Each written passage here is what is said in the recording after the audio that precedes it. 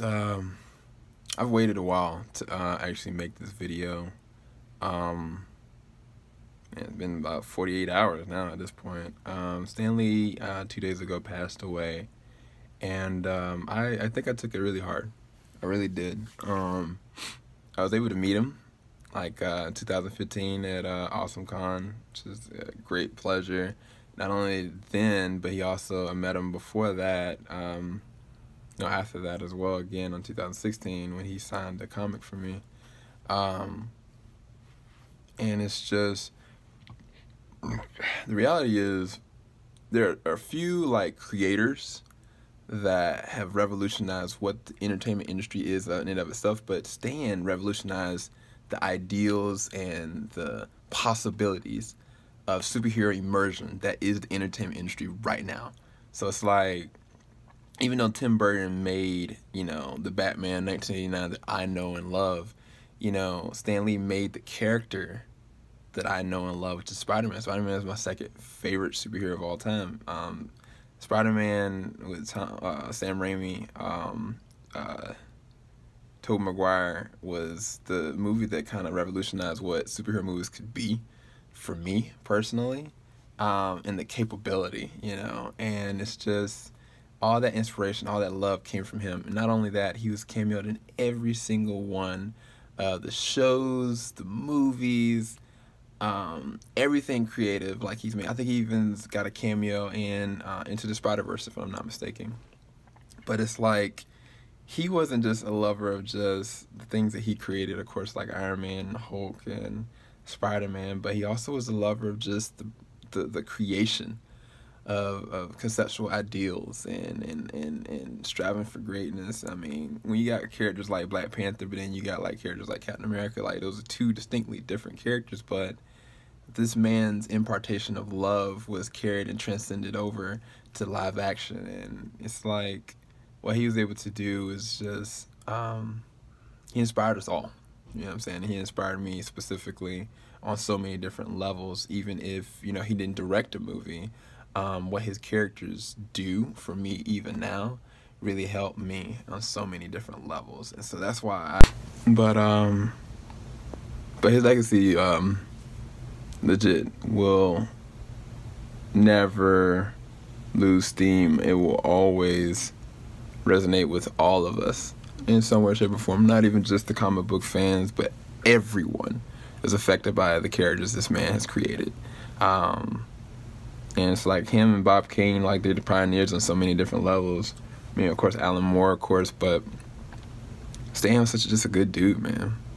Like it is, it's gonna be rough you know, going through these new movies and just just the legacy of what he's left behind um, without him, you know. But he did live a fulfilling life. I think he was married 60 years plus. His wife just died last year. He was 95 years old, but he really was a blessing to all of us in so much a performance. So my prayers go out to his family and his and his, and his friends and just everybody that he touched. Like in this mourning process that they might see God's face because you know he is in a better place. But um, I did want to react to this one final um, message he left for his fans, and um, hopefully I don't get emotional. Let's, let's see. It's just a minute and 38 seconds. We got again. The fans love your sense of humor, and uh, and and you know it's. Well, it's it's an equal love love fest because I love my fans. Mm. I cannot tell you how much I love my fans.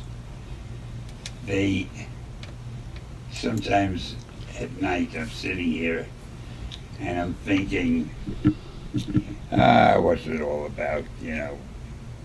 And then I get a letter from a fan, or I read something, or I see something, or I remember something, and I realize it's so lucky to have fans, fans who really care about you. And that's the reason I care so much about the fans, because they just, they make me feel so great.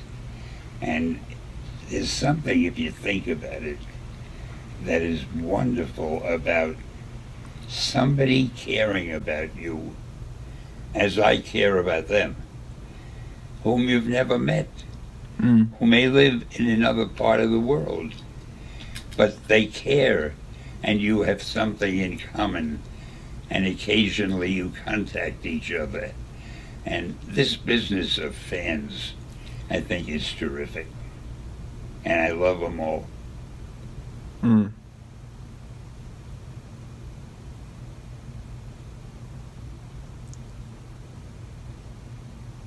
Mm. Man. that was rough. It was special. It was really special. Um, if I don't react to anything else that uh, Stan Lee has done and created, this will probably be the most one that resonates with me the most because just his wording in that um, and his understanding and reciprocation of how this whole thing works uh, it's, it's amazing. Um, because he's he's absolutely factual in that you know some people never met Stan. Some people never had the honor of being able to know him but they love what he's done know what he's brought to their lives and the love is there you know what I'm saying? And it's like ultimately if we all had that kind of love for each other we'd be in such a better place as a nation and as a people in general. But um, prayerfully, the legacy transcends not just the superhero genre or the artist genre or the film genre or the comic book genre, but like it, it goes elemental in the sense of love. Uh, that's my prayer um, moving forward for Stan's legacy, and hopefully I abide by that as well. But um, hopefully y'all enjoy this reaction. Hopefully y'all enjoy this um, it's I guess I don't know, uh, sending off farewell of the legend, the man, the myth, Stan Lee. Stay blessed.